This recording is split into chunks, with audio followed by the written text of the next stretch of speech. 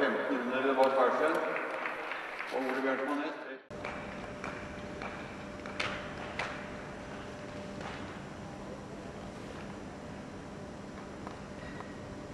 Da har vi åpnet her.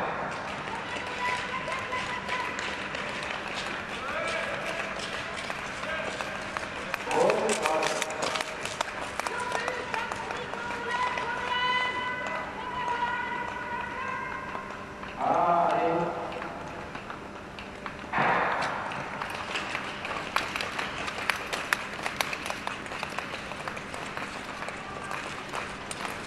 siden. 96 på Ole Bjørnsmoen Næss. Og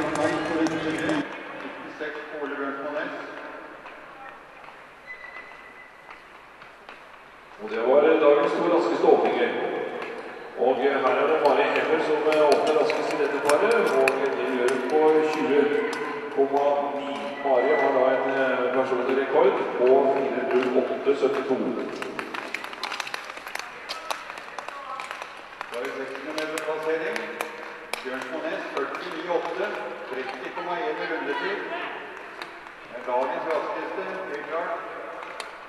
50,3 på Espen Tveit. Disse har kanskje en rekord for Hamar begge to i år. Siden 8,46 på Bjørnsmoen Næss og 4,60 på Espen Tveit. Og eh, Mari Heller hun passerte på 54,5 og hadde en runde på eh, 33,6.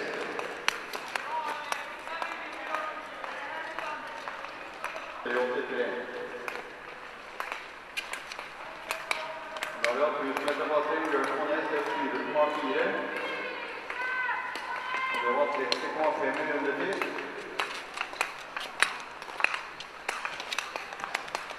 Det var faktisk 4,1 foran Henrik Wessel. Det gjorde som sluttet på 4,09. Og eh, Mari Hemmer hun passerte da på 1.28,1, 33,6 runder til. Og da ligger hun eh, 3, vi kan sammenligne henne kanskje med Henrik Besser, som hadde sluttet inn 4.09,25. Da ligger hun eh, 3,4 sekunder bak Henrik Wessel. Da har vi Ole Bjørnsmoen Næss igjen. 51,7 og 31,3 i rundetid. Vi sammenligner med Wessel, og da er det 5,1 foran Henrik Wessel. 7 og hadde en runde på 33,5.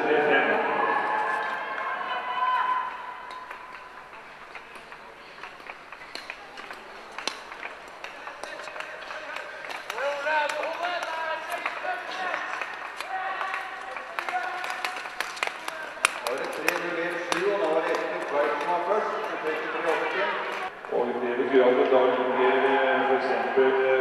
5,6 sekunder 5,4 sekunder bak eh, Henrik Wessel. Det kan tyde på at det kommer på ca. 4,15.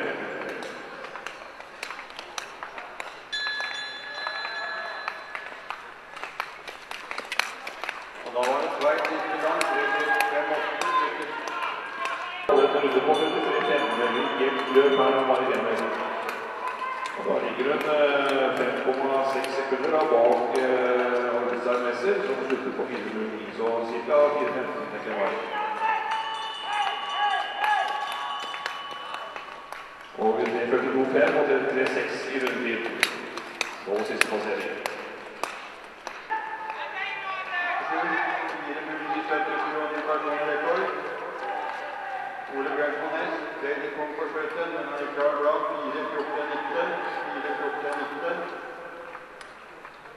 Og vi har eh, Mari Hemmer inne til eh, 4.16,09.